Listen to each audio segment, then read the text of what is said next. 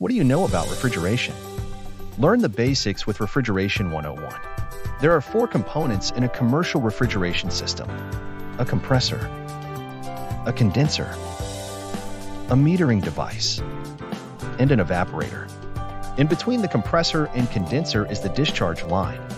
In between the condenser and metering device is the liquid line. In between the evaporator and the compressor is the suction line. Think of the compressor as the heart of the system. It pumps refrigerant, increases pressure, and increases temperature. Vapor then condenses and liquid is fed into the metering device. The discharge line is responsible for removing superheat by cooling the vapors that have been superheated by the compressor.